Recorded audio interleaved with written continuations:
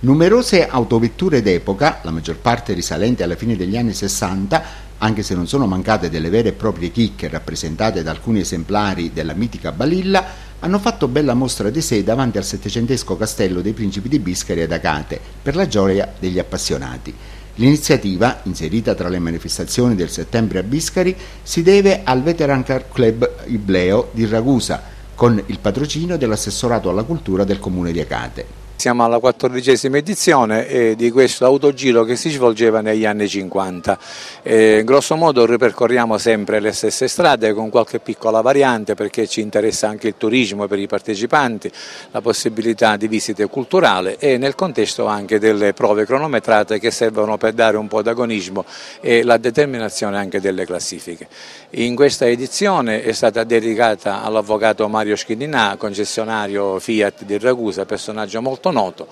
E raccogliamo 86 equipaggi che vengono da Roma in giù, bellissime macchine, tantissime Ante 45, vetture del 30, 32, 34 che sono in questo caso ospiti dell'organizzazione. Stimolo per fare uscire queste vetture dai garage e farle vedere al pubblico creando così un museo itinerante. Quella di Acate è stata una delle tante tappe, dopo Scicli, Modica, Ragusa, Comiso, programmate in provincia nel corso dei tre giorni dall'11 al 13 settembre della quattordicesima rievocazione storica dell'autogiro della provincia di Ragusa.